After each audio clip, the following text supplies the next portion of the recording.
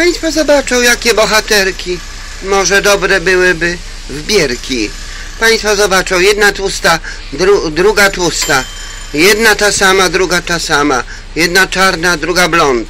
Jedna nie chce nie ustąpić, druga nie chce nie ustąpić. Janek Witek mówił o tej Rodowiczowej, że świnia by mogłaby już ustąpić, przestać wyć, przestać y, drzeć się. Ja kiedyś mówiłam, słuchaj Janek Witek, mnie w ogóle jakieś takie, takie żadne Żydówki to nie interesują, nie obchodzą, a on mi nadaje, a on mi nadaje o tych Żydach, że tam, gdzie oni się nie pojawią, to wszystko doprowadzą do ruiny i potem, że ich nie ma. I że te Żydówki wrzeszczą, a ja mówię, słuchaj Janek Witek, mnie się ciągle wydawało, że Żydówka żebrze i łka, a one wrzeszczą i coraz więcej chcą i domagają się, a proszą.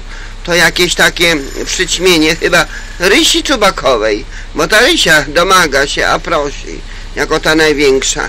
Ale one to w ogóle są skandalistki.